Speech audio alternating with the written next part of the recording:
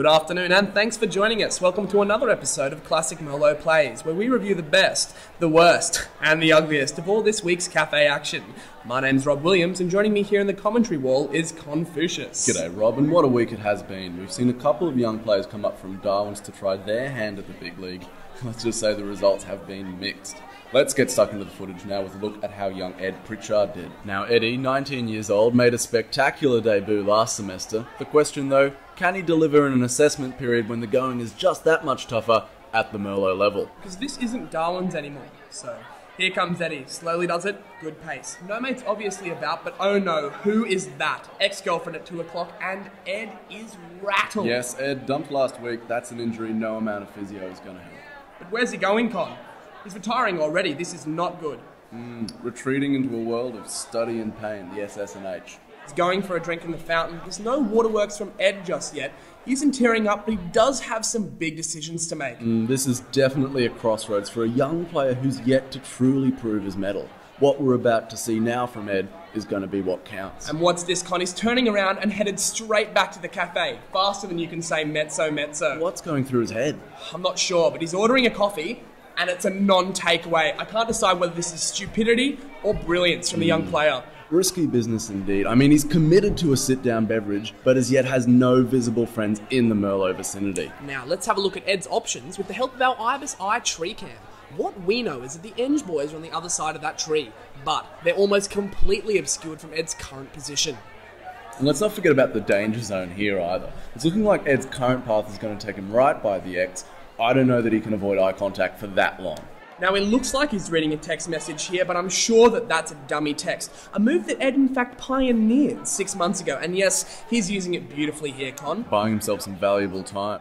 And here we have it the moment of recognition. He's spotted his fuzzy mate at a distance of more than 10 meters, and yep, he's now on his way. This? Through the garden bed? He's gone off road. He's rewriting the playbook here, Con. Just giving a casual wave, he's just showing off now. I've, I've never seen anything like it. Nor I. And there's a spare seat available. This is a fairy tale finish to a potentially disastrous Merlo's outing. Mm, truly, Ed Pritchard is the crema de la crema of this exciting new generation of cafe players.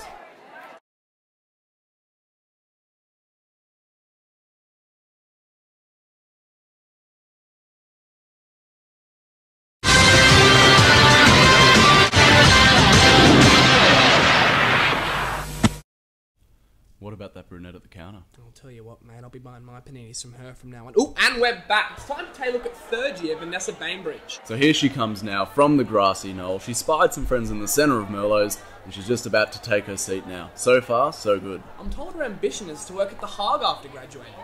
The Hague? Am I saying that right, Con? Wouldn't have a clue, Rob, but let's look at something we both know about, and that's the Merlot Arena. So we've got one friend here. Yep, she's off. That's right, bye bye. Now, what about these two lovebirds? And what about the guy beside them? He's looking a bit fishy. Look, you're not wrong, Con, but they're up, and Vanessa's been left with the unknown male. Stuck with a mutual friend here. That's not good. Well, obviously, these two don't have a lot to talk about. He's buried himself in the business section. And what's Vanessa up to? Yep, gone to the bag for salvation. Let's go to our commentator on the field. How's it going, Otto? Can't complain, Con, and neither can Vanessa. She has no one to blame but herself for this mess. A clumsy, rushed exit would have still been better than being stuck with this bozo. Yes, we've all been there, but what matters now is how Vanessa deals with this situation. Now Vanessa's standing up, but the bag's been left there. She must be going to get a coffee. This has panic play written all over it, because nothing's been solved, only delayed. I can only hope that this black is a short one. But who's this fellow in front of her? There's flirting, giggling, and hair tossing from Vanessa, all for this cool cucumber from the big smoke. And now an invitation to sit down from Mr. Right. But what about Mr. X? Vanessa's going into the alley now, abandoning her friend's friend, and boy, how the game has changed. You just wouldn't have seen this behaviour 10 years ago. Hell would have frozen over, I'm telling you, Con. Here we have two Merlo veterans, Russell Hinchy and Kit Barker, appalled at what they've just seen. Big Russ looks particularly disappointed in Vanessa, who it seems is all froth and no shot. Ha! Good one, Con. Vanessa's still giggling though and flirting inside. It looks like this law student just committed the perfect crime. Except she's forgotten one thing, boys her bag. Mr. X has given up and gone, but the bag remains. Meanwhile, the birds have gotten to it, and there are female sanitary products everywhere. It seems the big guy up in the sky has a sense of humour after all. Too right, all. We've seen triumph and disgrace here, the usual order at the Merlo's Cauldron. Where every day's a grand final. I'm Rob Williams. And I'm Confucius. Catch you next week.